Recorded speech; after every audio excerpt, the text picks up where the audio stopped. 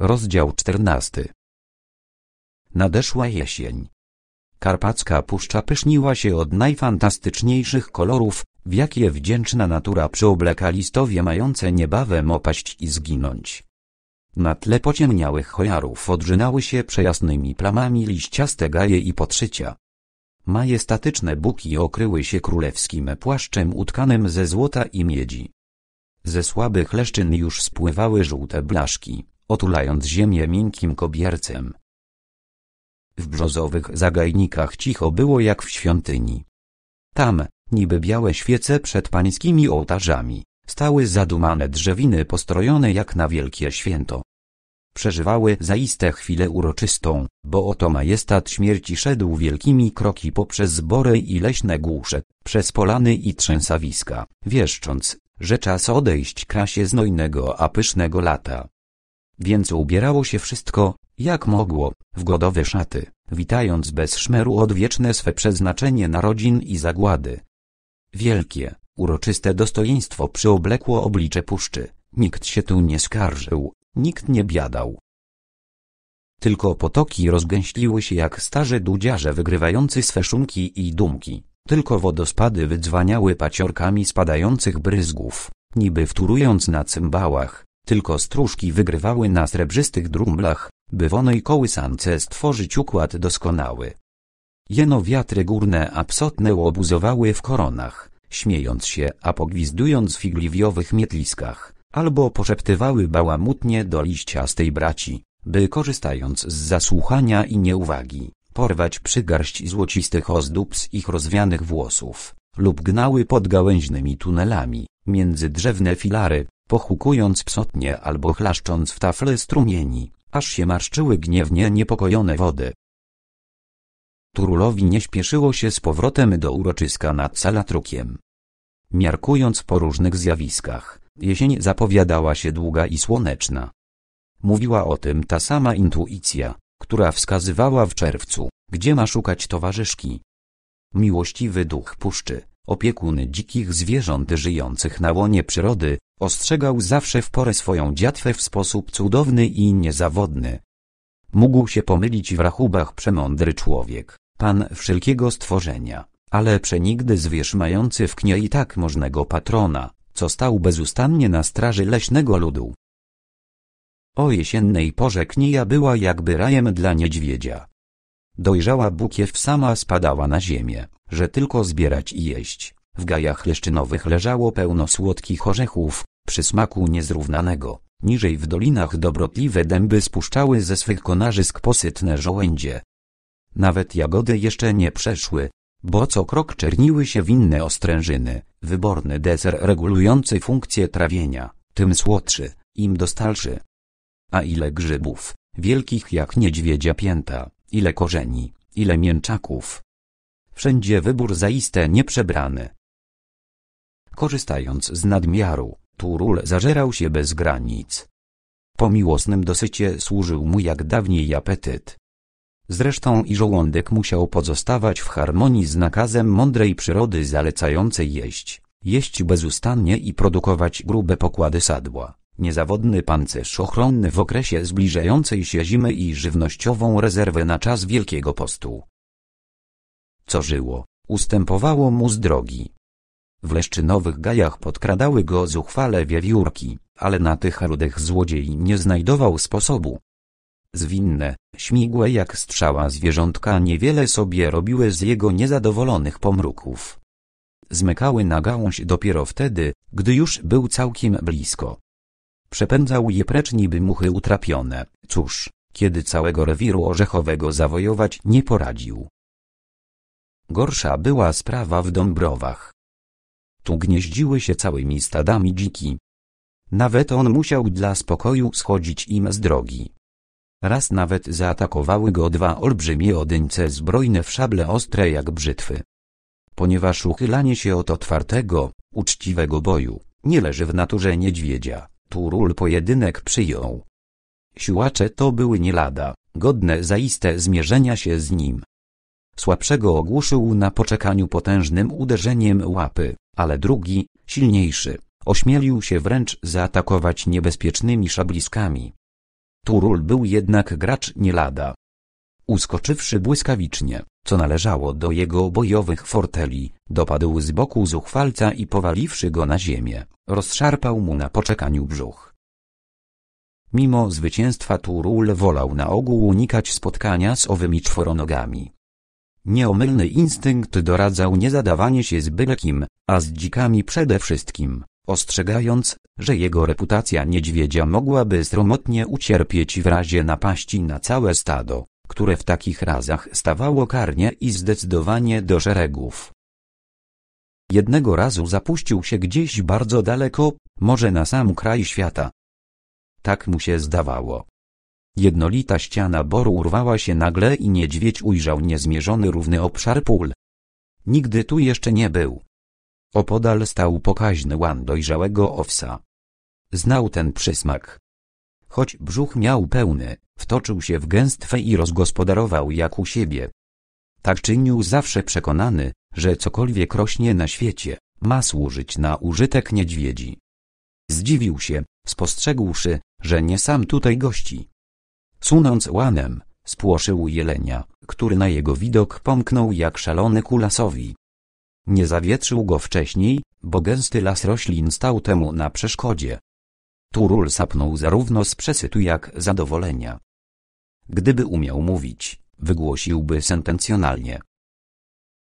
Miły Boże! Jak mnie się to bractwo boi! W przytulnym łanie spał bardzo długo. Dobrze tu było, ciepło i zacisznie. Pod wieczór zapuścił się dalej. Ciekaw był, co tam znajdzie, bo właśnie do czułych nozdrzy zaleciała woń dymów snujących się gdzieś w pobliżu. Jakoż na horyzoncie ujrzał niebawem kilka chałup. Znał się dobrze na tych ludzkich gawrach i wcale się ich nie lękał, ale instynkt zalecał w takich razach ostrożność. Nie lubił, by mu przeszkadzano w robocie. Wszak w pobliżu osiedli stały niemal zawsze pełne miodu ule, do których dostępu bronił człowiek zazdrosny o swa własność. I teraz zawietrzył właśnie dziwną jakąś słodycz. Nie był to miód, ale coś zgoła innego o miodnym zapachu. Jakoż nos go nie mylił. Uszedłszy kilkadziesiąt kroków, natrafił na sad owocowy. Rosły tutaj grusze uginające się od słodkich, rumianych owoców. To one tak woniały. Penetrując pod drzewami, znalazł kilka uleżałych sztuk. Wziął je do łapy, podał sobie do pyska i zjadł, mlaskając ze znawstwem. Oczy mu się świeciły. Zaiste woń dymów, jakkolwiek dla nosa przykra, zawierała pewną zapowiedź wciąż nowych przysmaków, jak choćby one soczyste kule, dające brzuchowi tyle rozkosznych wzruszeń. Cóż, kiedy pod drzewem leżało kul tych niezmiernie mało, wszystkiego starczyło ledwo na kwadrans jadła i na zaostrzenie apetytu.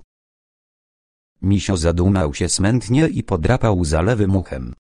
Tam w górze złociła się tak niezmierna mnogość owoców, że starczyłoby na trzy dni. Knieja podsuwała mu wszystko pod pysk, ale tu było inaczej. Należało się koniecznie wspiąć między konary, jak to praktykował często we wczesnej młodości. Dawno zapomniał tej sztuki akrobatycznej, na nic mu dziś nieprzydatnej. Jako szczeniak uciekał najchętniej na drzewo z obawy lub przezorności, gdyż tam znajdował schronienie niezawodne, ale teraz... Wszak uciekać nie było potrzeby, zresztą nie pozwalałaby na to duma niedźwiedzia. Tak zapewne rozmyślając, przystawał coraz częściej na tylnych łapach i prostował się na całą wysokość wzrostu. W ten sposób dosięgał nawet konarów, a nosem niemal dotykał owoców. Próbował wspiąć się jak dawniej. Nadaremnie. Za dużo ważył lub może wyszedł z wprawy. Wtedy porwała go złość i dając jej upust, objął muskularnymi łapami pień, chcąc wyrwać go z korzeniami. Drzewo zachwiało się, zadygotało i o dziwo. Z gałęzi jęły spadać owoce. Nawet one się go ulękły, choć niby tak wysoko uwieszone. Turul odskoczył i uporawszy się szybko ze strąconymi przysmakami, ponowił próbę. Tym razem poszło składniej, już nabrał wprawy. Gruszki spadały w ilościach coraz większych. Po kilku próbach niedźwiedź umiał trząść drzewem jak chłop, który wie, jak chwycić i zaszarpać, żeby to odniosło skutek. Ucztując, Turul słyszał krzyki ludzi przypatrujących mu się z daleka. Wrzeszczeli jak opętani, wywijali kijami, nawet ciskali kamieniami i grudami. Nie bał się ani trochę. Przecie znał dobrze te słabe, gołopyskie istoty. Były zmyślne, dobre, ale siły u nich ani trochę.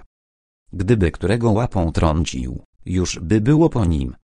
Więc nawet nie zwracał uwagi. Dopiero gdy kilku śmiałków podeszło bliżej z kijami w ręku, uznał za stosowne zaryczeć ostrzegawczo i pokazać gniewne kły. W ten sposób dawał do zrozumienia, że sobie wcale nie życzy, by mu przeszkadzano. Groźba odniosła skutek natychmiastowy, bo istotnie dwułape istoty ulękły się i uciekły czym prędzej, nie przeszkadzając mu w dalszej uczcie. Wychowany i wyrosły pomiędzy ludźmi Turul miał cokolwiek odmienne obyczaje niż jego kudłaci pobratyńcy. Inne niedźwiedzie w puszczy sypiały za dnia w gawrze, wychodząc na żer dopiero z nastaniem zmierzchu. Turul wolał to czynić wręcz przeciwnie i może dlatego rzadko spotykał swych krewniaków, choć niejednokrotnie wietrzył ich obecność w Boże. Ani mu do łba nie przyszło szukać towarzystwa niedźwiedziego kompana. Po co? By się dzielić żarciem? Ani mu się nie śniło. Wolał być sam, to nawet odpowiadało jego usposobieniu. Tak było i dziś. Nasyciwszy się przykładnie, odszedł od gruszy i powlókł się w stronę lasu, upatrując po drodze legowiska. W tym celu skierował się ku łanowi owsa, gdzie spał ubiegłej nocy, ale zauważywszy po drodze kopicę siana, rozwalił ją pchnięciem łapy i tu się wygodnie usadowił. W sianie było i miękcej i bliżej sadu, zresztą do drzemki zapraszał balsamiczny zapach idący od zeschniętego zielska i ściętego kwiecia. W nocy zbudził Turula tajemniczy szmer. W niedalekiej okopowiźnie harcowały zające. Działo się tam coś niezwykłego, w badylach się kotłowało, słychać było piski. Niedźwiedź znał te czworonogi. Nieraz urządzał sobie z nich przekąskę, skoro mu się tylko udało zajść którego we śnie lub zaskoczyć z nienacka. O polowaniu na niewinny sposób nie było co i myśleć, bo szaraki umiały zmykać i kluczyć, jak żadne inne stworzenie. Przy ciężkiemu misiowi ani do łba nie przychodziło fatygować się pościgiem, zwłaszcza, że mięso, choć smaczne, przedstawiało zbyt mały kąsek na jego pakowny żołądek. Za chwilę Turul widział ze swego legowiska, jak spośród badyli wybiegły na łączkę dwa szaraki, uganiając w koło siebie i uciesznie koziołkując. Małżeństwo zajęcze baraszkowało opodal w najlepsze, ani nie przeczuwając, że w pobliskiej kopicy ucina sobie nocną drzemkę pan Kniei, którego się lękały z całej swej zajęczej duszy. Miały wiatr niekorzystny, więc nie mogły się tego domyślać, zwłaszcza, że silny czad, wydobywający się z przywiędłej trawy, neutralizował zapach niedźwiedziego futra. Rozkoszna zabawa zgodnego dotąd stadła przeszła niebawem w srogą bójkę. W niedługim czasie Turul zobaczył, jak z nosami ku ziemi spuszczonymi zaczęły się z badyli coraz nowe cienie. Byli to zawistni rywale szczęśliwego samka, który właśnie dokazywał w pobliżu kopicy i w słodkim podnieceniu wyrywał kotce pazurami wełnę, aż popiskiwała boleśnie.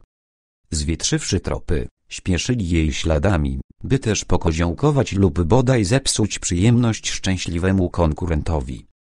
Wkrótce zebrała się ich pokaźna ilość, było ich sześciu, może nawet więcej. W tym stanie rzeczy musiało dojść do bijatyki. Lecz myliłby się, kto by sądził, że szaraki nie znają rycerskich obyczajów. Jeden na drugiego nie napadł z nienacka lub w kilku na jednego, jak to się nieraz zdarza pomiędzy ludźmi. Przeciwnie. Rywale ustawili się w bojowych szeregach, oko w oko, pierś w pierś i słupkując, ruszyli na się ławą. Doszedłszy, rozpoczęli bój polegający na wzajemnym policzkowaniu. Bijąc się po pyszczkach łapami, szaraki wyrwały sobie z czupryn wełnę i piszczały bardzo wojowniczo. Takie spotkanie nie groziło co prawda śmiercią, gdyż żaden z nich nie rozporządzał morderczą bronią, ale w zamęcie bitewnym zdarzało się, że jeden drugiemu wydrapywał pazurami oczy albo rozszarpywał chrapy. Już dwóch pokiereszowanych zapaśników opuściło szuranki, gdy przypatrująca się pojedynkowi kotka uznała za stosowne interweniować. Wszak to o nią doszło do krwi rozlewu. Dobrym sercem powodowana, pokicała raźno między rozstrożoną brać. Była pewna, że swym kobiecym autorytetem zapobiegnie dalszej bójce, gdy wtem spotkała ją najczarniejsza w świecie niewdzięczność. Oto rozstrożeni rycerze uprzytomnili sobie naraz, że właśnie z jej powodu rozgorzała walka, co więcej, że w walce tej jeszcze im przeszkadza. Snać takie przeświadczenie podzielali wszyscy bez wyjątku, bo obie walczące strony, poniechawszy na chwilę policzkowania i wodzenia się za czuby, rzuciły się z furią na niespodziewającą się podobnej niegodziwości samkę, bijąc i drapiąc niemiłosiernie, gdzie kto dopadł. Od zupełnego pogromu uratowała się dopiero szybką ucieczką, w której jej towarzyszył chyłkiem ten, co przed chwilą dokazywał cudów waleczności, pozostawiając przyjemność dalszej walki reszcie długouchych kolegów. To wszystko obserwował niedźwiedź ze swego barłogu, nic a nic nie rozumiejąc. Czubienie się uważał za zabawę tak ucieszną, że gdyby się umiał śmiać, rozdziawiłby na pewno paszczę od ucha do ucha.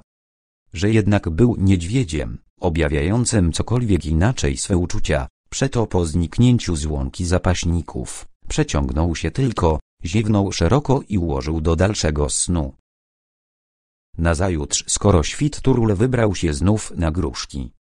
Już z daleka zawąchał, że w sadzie gospodarują istoty na dwóch łapach, podbierając mu widać ukradkiem dopiero co odkrytą skarbnicę przysmaków, podobnie jak to czyniły w lesie wiewiórki w leszczynowych rewirach.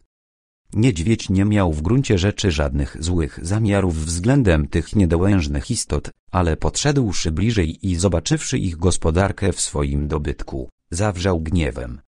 Wydawszy ostrzegający pomruk, dopadł jednego z uciekających i wywrócił niewinnym szturchnięciem łapy w plecy. W tej chwili przypomniało mu się, jak go we wczesnej młodości karciła matka, a później ludzie kijem.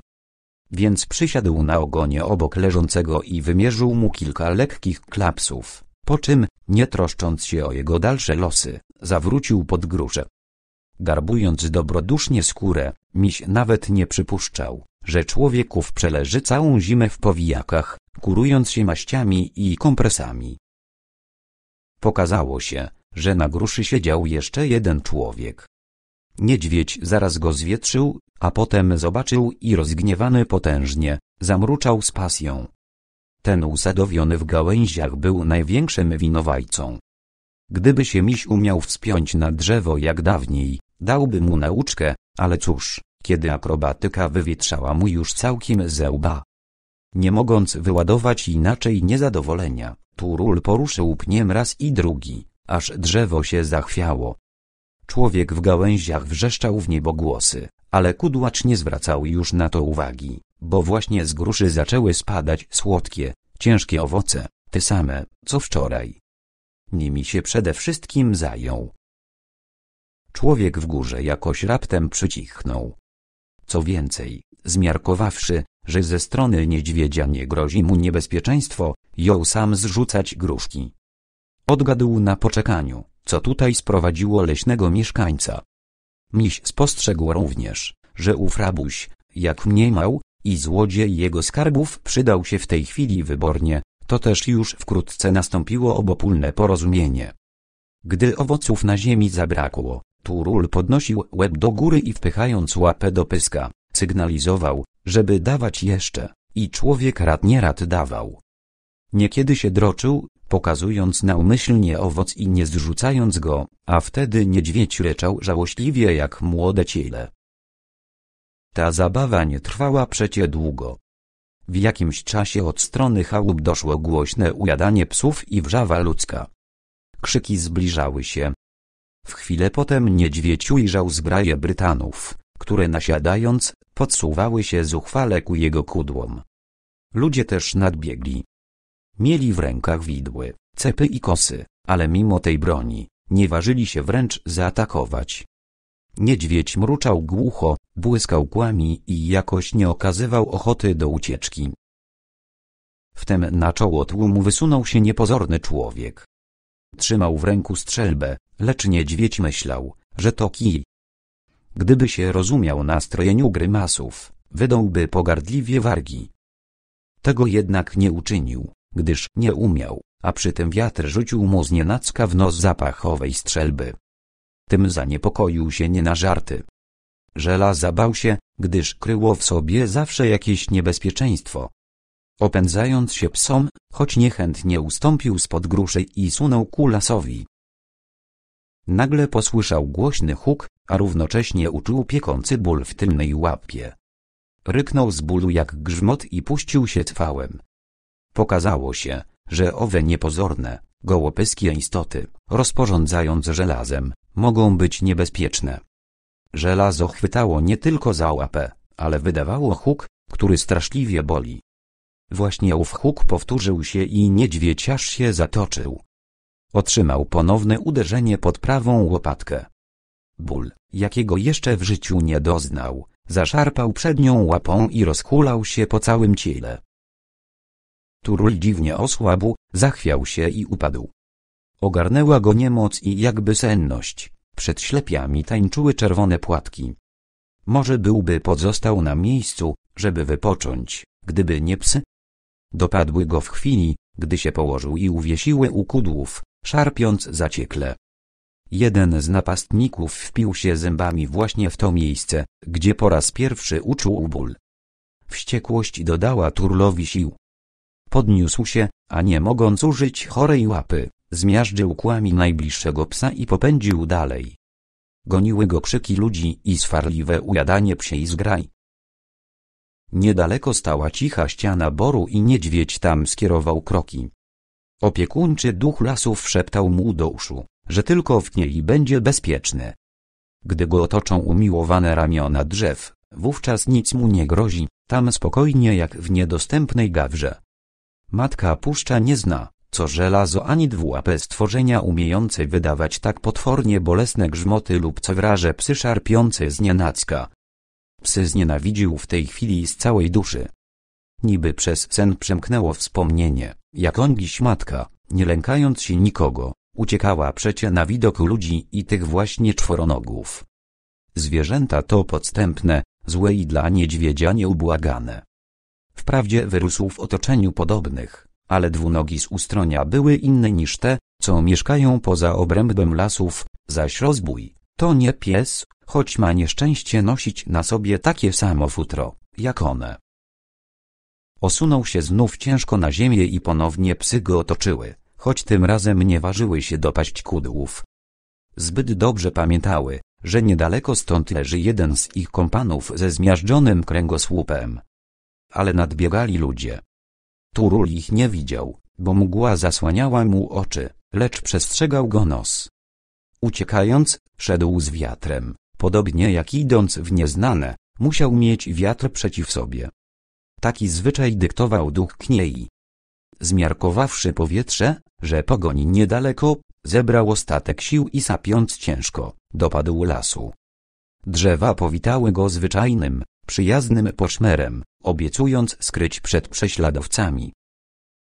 I skryły. Natrafiwszy na rzeczółkę, Turul zanurzył się z rozkoszą w zimnej wodzie i to go na chwilę orzeźwiło. Potem zaszył się w niedostępny matecznik i wyszukawszy debrę, legł ciężko. Mijały dni i noce, najpierw pogodne, potem ponure, wietrzne, pełne dżdżu i ziąbu, a niedźwiedź nie podnosił się ze swej zapadni. Naszła go ciężka niemoc i gorączka trawiąca organizm. Resztkami sił i przytomności gasił pragnienie w maleńkim źródełku wypływającym obok, ale zdobycie jadła okazało się niepodobieństwem. Z głodu pożerał opadłe liście, skubał pożółkłą trawę, żarł nawet igliwie, cóż, kiedy takie pożywienie nie zapełniało brzucha. Potężny instynkt życia przykazywał ruszyć z miejsca. Próbował, niestety bezskutecznie, potrafił sunąć na brzuchu ledwo kilka kroków i to wśród najstraszliwszych cierpień. Dolegała szczególnie przednia łapa w okolicy łopatki. Tam usadowił się ból trzymający go tak na uwięzi, jak niegdyś żelazne kleszcze. Dopiero po tygodniu, choć z trudnością, zdołał się podnieść na tylnych łapach. zbiedzony i dziwnie w tak krótkim czasie wynędzniały ruszył w drogę na tych dwóch odnóżach. Gdy niedawno jeszcze znajdował w brud pożywienia, teraz poprzestawać musiał na trawie jeno i grzybach. Cokolwiek żyło, potrafiło w czas umknąć, korzystając z jego ułomności. Wtem zbawcza myśl przemknęła przez posępny, zgorączkowany łeb. Wszak mógł wrócić natychmiast do ustronia, do życzliwych dwunogów i przyjaciela rozboja. Znajdował się zbyt daleko od osiedla i zbyt krętymi drogami chadzał, zatem tybetański olbrzym nie mógł go dziś wspomóc ani odnaleźć, choć szukał niewątpliwie. W ustroniu czekało przecie obfite jadło, codzień miska wybornego mleka i miękko uścielona gawra, gdzie deszcz nie zaciekał. W Boże bywało różnie, a teraz wprost nieznośnie. Od niejakiego czasu rozsiąpiło się. Deszcze jesienne mżyły coraz częściej, przejmując go ziąbem mimo ciepłego futra. Zamagazynowane przez lato sadło pod skórą wyczerpywało się szybko. Turul marzł. Nieustępująca choroba złamała go do reszty na duchu. Deszcz listopadowy, pomieszany ze śniegiem, srożył się na dworze, już pochukiwały lute wiatry po kniei, zwiastując, że w ślad za nimi śpieszy wielkimi kroki zima macocha, gdy jednego dnia wynurzył się z boru olbrzymi szkielet niedźwiedzi. Szedł, a raczej wlókł się z największym wysiłkiem. Widocznie kulał na przednią łapę i każdy krok okupywał dolegliwym cierpieniem, bo od czasu do czasu podnosił się na całą wysokość wzrostu i kroczył jak człowiek. To był Turul. Po długiej włóczędze i dziwnych przygodach, zakończonych tak tragicznie, wracał właśnie do przytulnego ustronia, którego obraz tkwił mu głęboko w pamięci. Chory i zbiedzony śnił w zimne, wilgotne noce o przytulnej gawrze, o misie mleka, o rozboju i pastuchu Pietrku. Budząc się, o nich tylko myślał. Tymi wspomnieniami kierowany, nie jedząc, nie dosypiając, wracał jak syn marnotrawny do ojczystych progów, by tu nażreć się, wydobrzeć i zapaść w zimową drzemkę, z której wstanie w pełni sił, jak dawniej. Już poznawał znajome płaje, między drzewne chodniki, w nosie czuł nawet zapach dymów, w jakich lubują się dwułape istoty. Wkroczywszy na obszerną, dobrze sobie znaną polanę, przystanął niedźwiedź nagle jak wryty i niezmierne zdziwienie odmalowało się na jego pysku. Dom, stajnia, gawra, nawet parkany znikły z powierzchni ziemi. Nigdzie ani śladu żyjącej istoty. W miejscu, kędy stały zaciszne budowle leśniczówki, leżała jeno kupa zwęglonego drzewstwa. Turul opadł ku ziemi i ryczał długo, żałośliwie, wieszcząc kniei o swym nowym nieszczęściu.